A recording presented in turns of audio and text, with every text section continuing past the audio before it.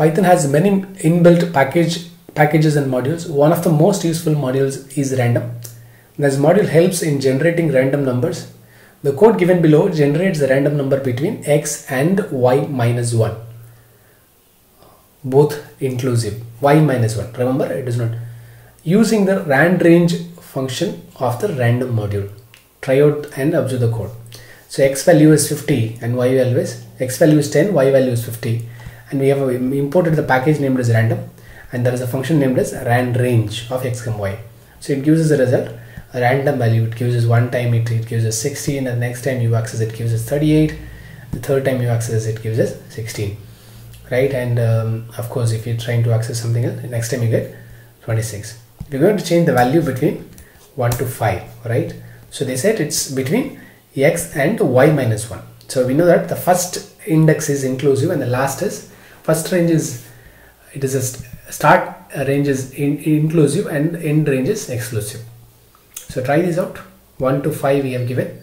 So you will never get something called 5 because x is 1 and y is 5 so x comma y minus 1 it gives us a result up to x comma y minus 1 since the combinations are very less it gives us randomly it gives us a number.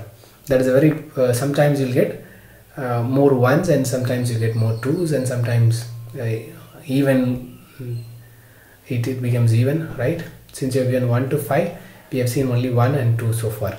So it gives us again again 1 I don't know what went wrong. Let's go back and um, execute this.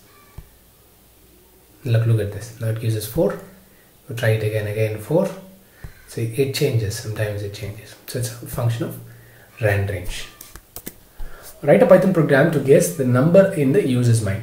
Randrange function of random module can be used to guess the number in user's mind.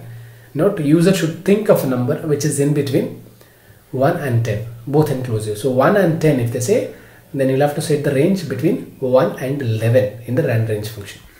So random range value is 1 to 10 and the sample number in user mind is 5 if the number because we know that if we say 1 to 10 any number it might uh, give us if they're going to give a number which is less than the number in the user mind it has to give a, message saying number is low.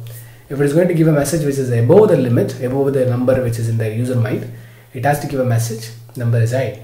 Then you say we got it. Uh, you got it right. If they're going to get the 5 so they've given a sum of print statement they want us to use because it's basically works on string match. So you'll have to use the same print statements wherever applicable so look at the code.